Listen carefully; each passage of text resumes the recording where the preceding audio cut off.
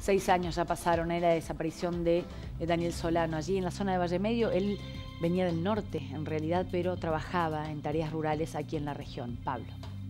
Claro, Carla, buenas tardes. Y mm, verdaderamente el próximo 18 de noviembre será un día clave, porque sabemos que entre marzo y junio del próximo año habrá un juicio por la desaparición de Daniel Solano y hay siete efectivos policiales imputados pero que eh, no están eh, tras las rejas, no hay ninguno de ellos. Pero claro, si es que verdaderamente arrojaron el cuerpo en el pozo del Jahuel, ahí sí habrá una prueba fundamental para imputar a estos siete efectivos policiales el próximo año. Mientras tanto, se cumplió un nuevo aniversario, ya el sexto de la desaparición de Daniel Solano y distintas personas de Choel Choel y de Derechos Humanos salieron a la calle a realizar distintas actividades y reclamar por su aparición.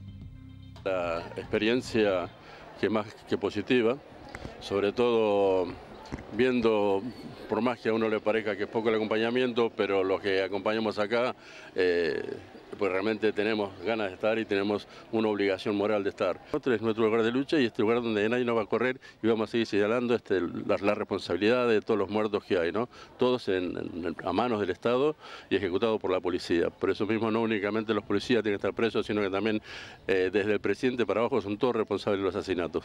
Eh, sinceramente eh, tratamos de acompañar a la familia porque continuamente tratan de quebrarlos, de que no sigan luchando, de que bajen los brazos y, bueno, estamos para eso, para fortalecerlo, para ayudarlo, para acompañarlo, este, para también eh, nosotros también eh, eh, tener experiencia sobre, sobre cómo se van evaluando las causas, cómo las van manipulando y manejando, entonces este, a través de esto poder colaborar con, esta experiencia de transmitírsela a otras personas para que no caigan en, dificultades con, otras, con, otras causas que puedan suceder. de lo que uno puede dar cuenta es de los años que, ha estado sufriendo particularmente Gualberto, Romina, Mayra, Pablo, que han vivido acá en este campe, en estas condiciones.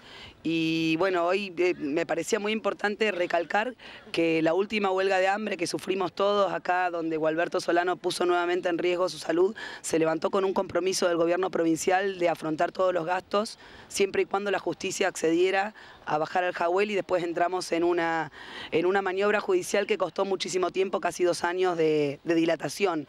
Lo que estamos exigiendo hoy es que cumpla ese compromiso que asumió a costa de la salud de Gualberto y también queremos dejar claramente que, el Estado tiene que poner los servicios para, resolver este tipo de crímenes en los que está, de los cuales forma parte lamentablemente. Se ha ganado mucho porque eh, que Daniel persista en la memoria de mucha gente y que la lucha, digamos, a través de su familia y de sus abogados siga adelante, eh, es un logro, es una victoria siempre. Que la familia se mantenga de pie es una victoria siempre, pase lo que pase, porque sostenerse en la lucha para las familias es tremendo.